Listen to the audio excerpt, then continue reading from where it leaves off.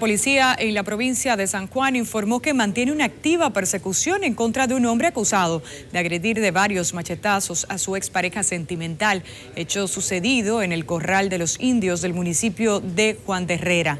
La víctima responde al nombre de Alexandra Beltré, de 40 años, en tanto que el agresor solo fue identificado como Ramón Lagüenga, a quien la uniformada exhortó a entregarse por la, vida, por la vía que entienda correspondiente la cual se encuentra ingresada en el Hospital Regional Doctor Alejandro Cabral de esta ciudad de San Juan de la Maguana.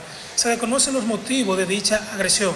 El hecho se perpetró en el Corral de los Indios, a la orilla del canal. La institución del orden público le hace un llamado a que se entregue por la vía que entienda pertinente. Debido a las heridas, la mujer se encuentra recluida en la unidad de cuidados intensivos del Hospital Alejandro Cabral de San Juan de la Maguana.